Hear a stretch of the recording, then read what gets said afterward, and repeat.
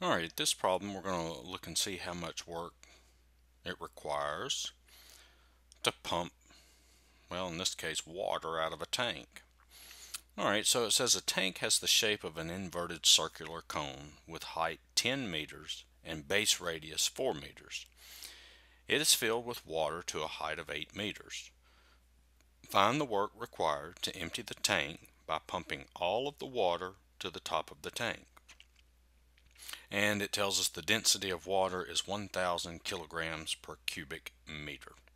All right. Okay so let's let's draw a picture.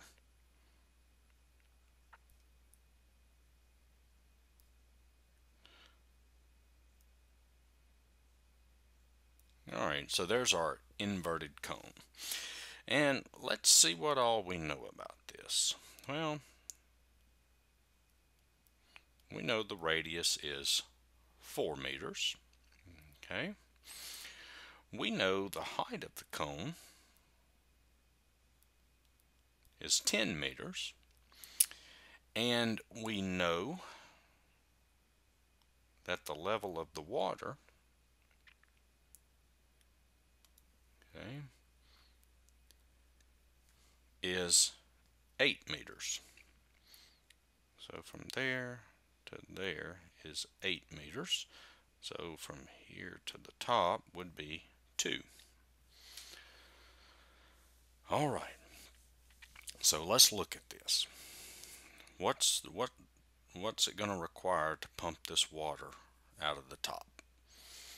Okay. Well, don't look at pumping the entire water just take a little slice of the water and let's let's figure out the work for just that one little slice okay? So let's let's go ahead and sketch that in there. So here's our slice of water. Okay there's our slice of water and the thickness of it we will call delta x. That's the thickness of the slice. And well how high is it to the top of the tank from that slice? Well that would be well, we don't know. We'll call it x x meters.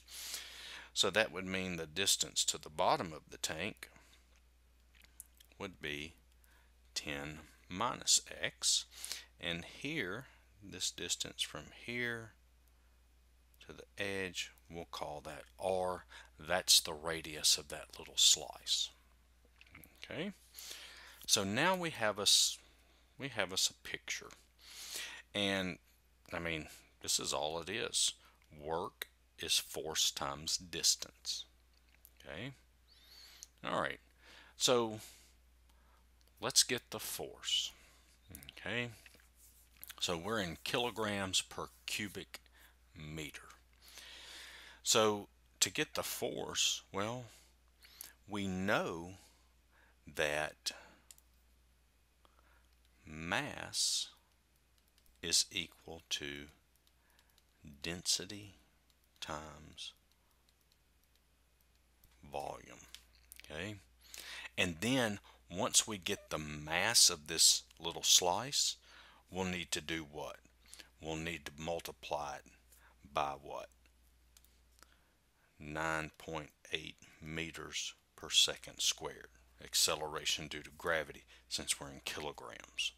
Okay, so let's get the mass, and once we get the mass, we multiply it by 9.8, and that will give us the force. Okay. All right. So, well, the density, well, we have that. It says the density of water is a thousand cubic, a thousand kilograms per cubic meter. Okay, so that's taken care of. Well, we have to multiply that density times the volume. So we need the volume of this little slice. So remember, if you have, and I mean, look at that little slice. All it is is a cylinder. It's just not very tall. Okay. And so to get the volume of a cylinder, well, all you really need is the area times the height.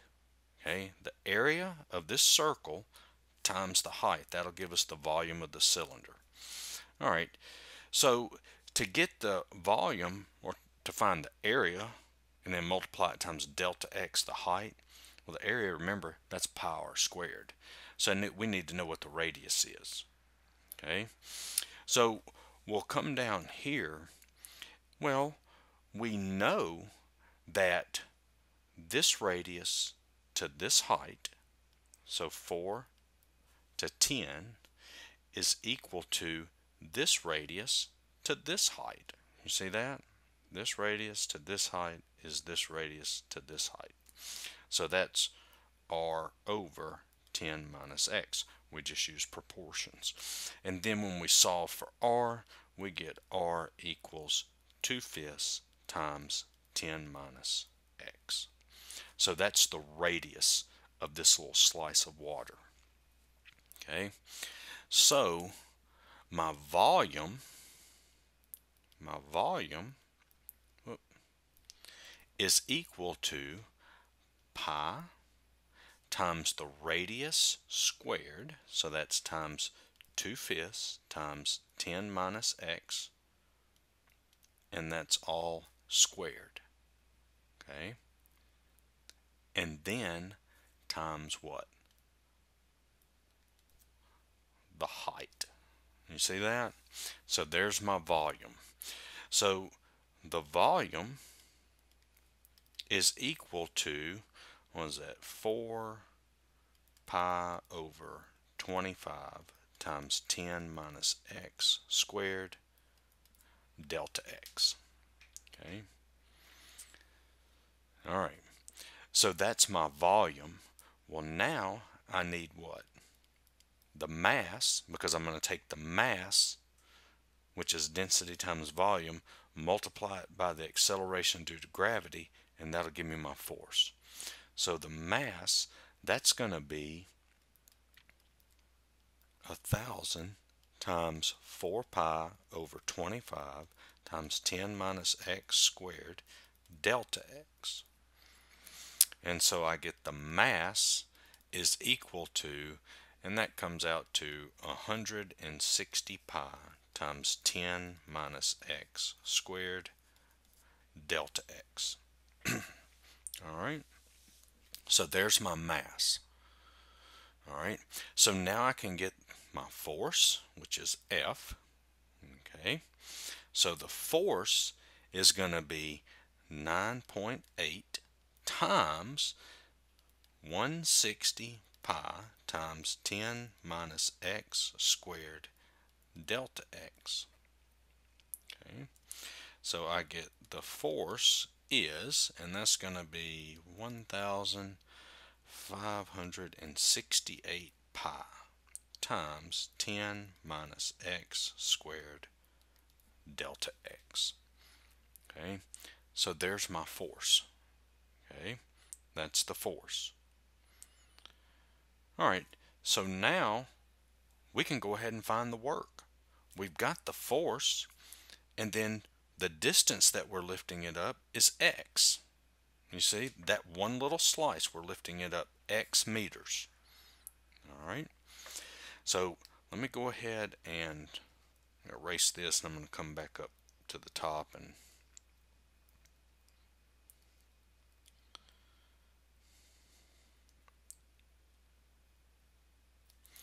All right, so the work is going to be force times distance. Okay, so that's 1568 pi times 10 minus x squared delta x. And remember, delta x is the same thing as dx. Okay, and I'm going to multiply it by the distance I'm pulling that up, which is x. Okay. Well, remember, this is the work for one little slice of water. Well, I've got a bunch of little slices of water that I've got to pull up to the top. So what I can do is this slice, then I have another slice, you know, down here, there's another slice with a width of delta x, another slice with a width of, width of delta x. So what I can do is I can sum all of those up. Okay? Well, look at this. What is the shortest distance? See, I'm going to have a slice up here at the very top. So what's the shortest distance that one of those slices is going to move up? Two meters. And then I have another slice down here at the very bottom. Well, what's the distance that that's going to move up? 10 meters. So I can sum all of these slices from 2 to 10. So that gives me the integral from 2 to 10. Okay? All right? And, and there's your work required from pumping all of that water out. All right? So we started out with the work required for one little slice. And then what I'm doing is I'm going to sum all the slices up. Okay, there's an infinite number of slices there. And I'm summing all those up. It's going from 2 from 2 meters to 10 meters. Okay. All right. So let me just rewrite this a little bit. I'm going to bring all my constants out. Uh, so that's going to be 1568 pi 2 to 10 and that's going to be x times and I'm going to go ahead and multiply oh I'm sorry and put that in there right did I? It's all squared there. Alright so then plus x squared dx okay so I'll fold that out. So I get the work is let's do one more let's distribute the x. So that's 2 to 10 that's going to be 100x minus 20x squared plus x cubed dx.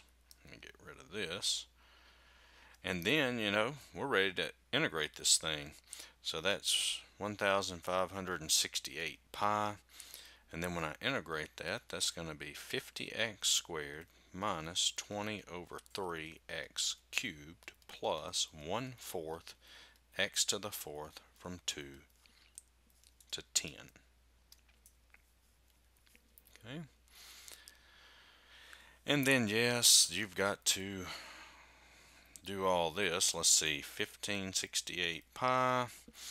And this will be 50 times 10 squared minus 20 over 3 times 10 cubed plus 1 fourth times 10 to the fourth minus and then we plug the 2 in 50 times 2 squared minus 20 over 3 times 2 cubed plus 1 fourth times 2 to the fourth. And I think I got all that. Alright and then calculate that. And once you calculate all that you end up with 1568 pi times 20 48 over 3 and that is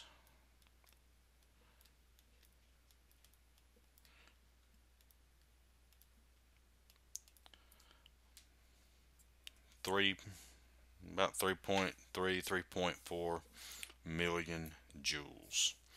And that's the work required to pump all that water out okay?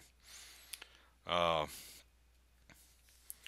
you know it, it's it's not it's not bad just remember when you're doing these work problems just look at a little slice of it and figure out the work for that. Force times distance. And then you're summing all those little slices up. That's all you're doing. Okay? So I hope this helped. I know this was kind of a long video. Uh, I, I, will have another video uh, pumping the water out I don't know what happened, but anyway, I'll have another video pumping water out uh, of a tank, and it will be in pounds and feet. So look for that one. Uh, give me a like, share, subscribe, and thanks for watching.